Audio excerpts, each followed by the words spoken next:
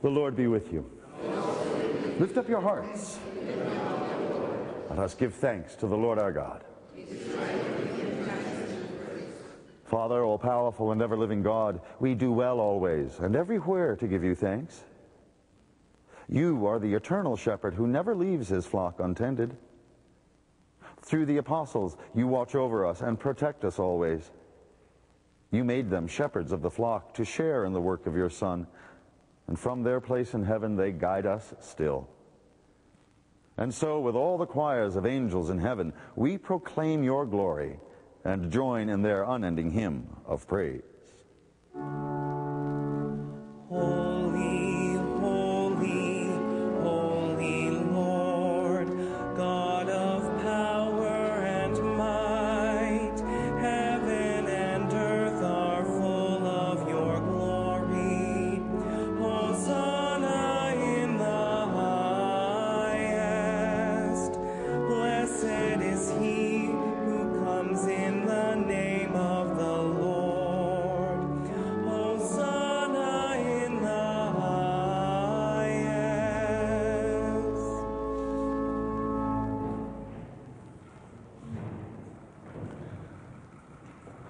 Lord, you are holy indeed, the fountain of all holiness.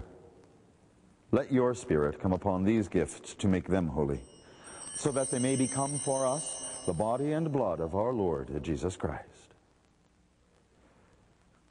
Before he was given up to death, a death he freely accepted, he took bread and gave you thanks. He broke the bread, gave it to his disciples, and said, Take this, all of you, and eat it. This is my body, which will be given up for you.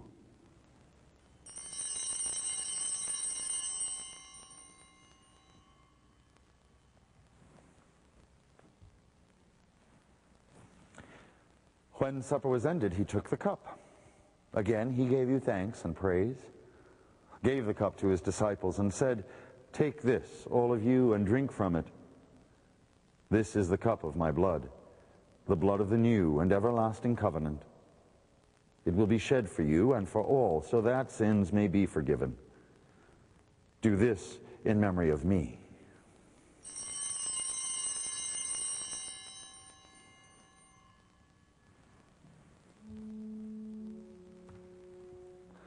Let us proclaim the mystery of faith. Christ has died,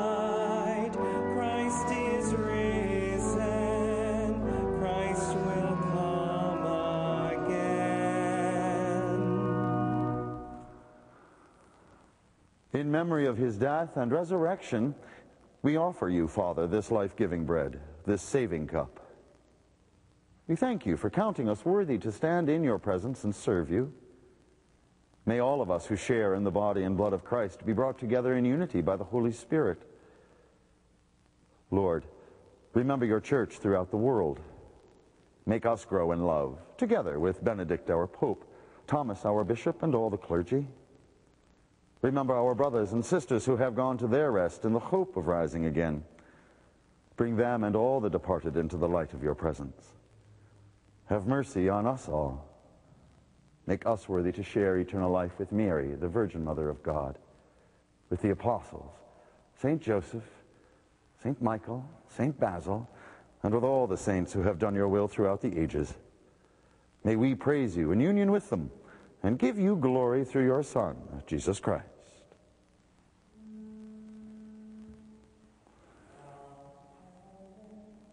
Through him, with him, in him, in the unity of the Holy Spirit, all glory and honor is yours, Almighty Father, forever and ever.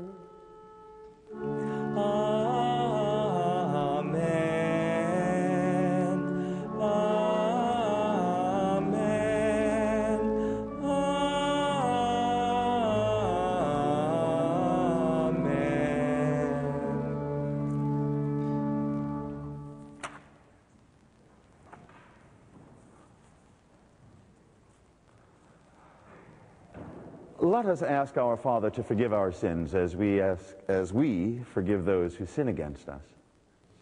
Our Father, who art in heaven, hallowed be thy name. Thy kingdom come, thy will be done on earth as it is in heaven. Give us this day our daily bread. Forgive us our trespasses, as we forgive those who trespass against us. And lead us not into temptation, but deliver us from evil. Deliver us, Lord, from every evil, and grant us peace in our day. In your mercy, keep us free from sin, and protect us from all anxiety, as we wait in joyful hope for the coming of our Savior, Jesus Christ.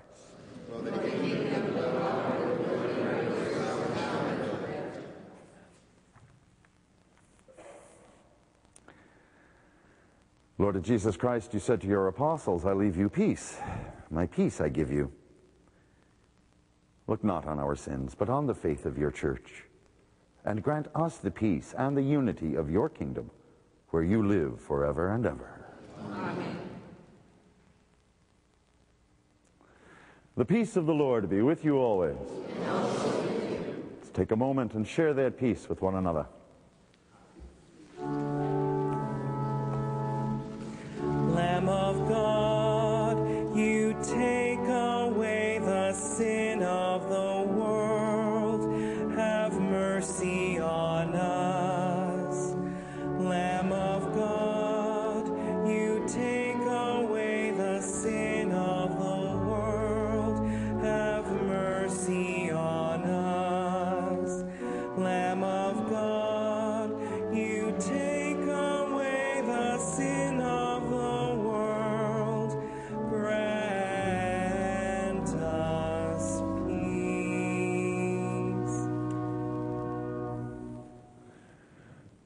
My brothers and sisters, behold, this is the Lamb of God who takes away the sins of the world. We are happy who are called to his supper. Lord, I am not worthy to receive you. Only say the word, and I shall be healed. The body and blood of our Lord Jesus Christ bring us to everlasting life.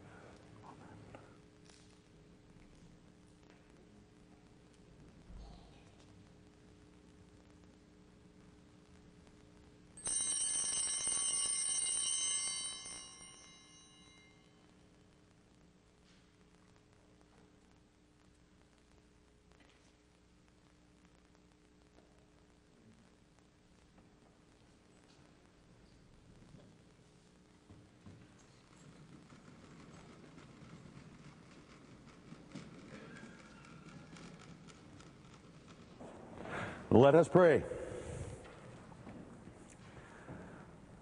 Lord God, you filled Paul the Apostle with love for all the churches. May the sacrament we have received foster in us this love for your people. Grant this through Christ our Lord. Amen. The Lord be with you.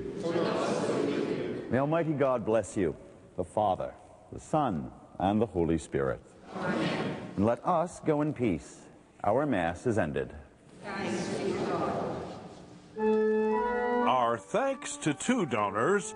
The first, an anonymous donor from Aurora, Ontario, and the second is Imelda Arsenault from Toronto, Ontario. And it's their generous contributions that made the televising of today's Mass possible.